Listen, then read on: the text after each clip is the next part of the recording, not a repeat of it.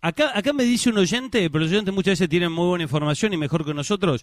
Viste que yo el otro día te preguntaba lo de Austin, ¿qué pasa con Austin? Sí. Que empieza a competir el año que viene. Marzo. en la MLS. Bueno, acá un oyente me dice que si Austin arregla con Independiente, el Austin lo cedería a Cerro Porteño hasta fin de año, a Sí, préstamo. sí, sí. Eso salió hoy y mañana se firmaría, Toti. Dani, armámele con los que se presentan mañana, después vemos qué refuerzo llegará a Independiente. Armame el equipo.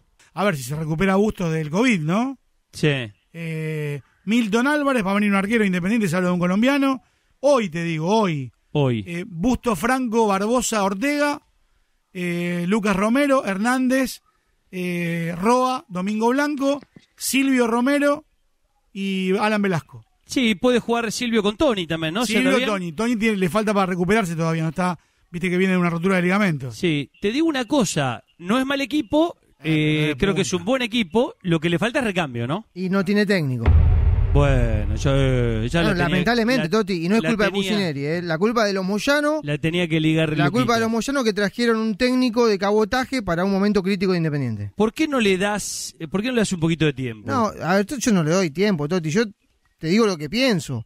Independiente tendría que haber traído un técnico para el momento de Independiente. Según del Titanic, Toti, dirigió- y un aprendiz de plomero. Dirigió No, febrero. dirigió Andá a el- buscar al mejor el- plomero. El, mes de febrero. Toti, Lucas. según del Titanic, Independiente, si no había des- eh, la quita de descensos, Pero cuando, descendía. lle- cuando llegó Pusineri, ¿era el Titanic independiente? Sí, ¿Sí? sí, sí, Toti. Se fue Holland, sí. vino Becasese, se hunde el Titanic. Se empezó, empezó a perder con el, el interino, Fernando Verón, y ahí aparece Pusineri. Y aparece ¿Quién debería ser el un aprendiz. independiente, Tali? No sé, buscaba uno con experiencia. No, pero ¿quién? Yo te pregunto. Vos tenés eh, para buscar. ¿a Vichy Borghi, buscar? Vichy Borghi, por ejemplo. Tuvo mal Independiente. Está bien. No, pero en traiga un técnico que tenga lados, experiencia. Igual, eh, Tali, una cosa nada más. Un, un, e- un equipo, ¿no? Grande como Independiente, que arranca un año, por ejemplo, con Copa Sudamericana, no era el Titanic.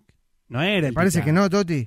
Y no, no. Vos tenés, tenías el campeonato local, bueno, ya en, en disputa, ¿no? No, Le pero por faltaba- le contexto faltaban era el Titanic. Siete fechas. Más allá de eso. Después tenés, tenés Copa Argentina, tenés Sudamericana. El Titanic es si realmente arranca en promoción, no Toti, sé. si lo iban a buscar cuando se fue Holland, un, un equipo que medianamente venía de, de ganar algo, como pasó con Ramón cuando lo despidieron de Río, lo van a buscar a Gallardo.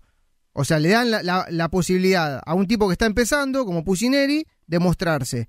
Ahora, traerlo cuando las papas queman, Independiente fue a buscar a Garnero. por no descarte, porque vino por descarte Pusineri, ¿eh? Sí, fue buena la pregunta de Pipi igual, ¿eh? A ver, o- ojalá, yo quiero que le vaya bien a, a Pusineri porque ¿A lo quién hubiera quiero. traído yo, Toti, a No, Pellegrino? no es que Claro. soy eh, a- amigo, pero la verdad te- tengo una buena relación y me, es un pibe que te tengo ah, cariño.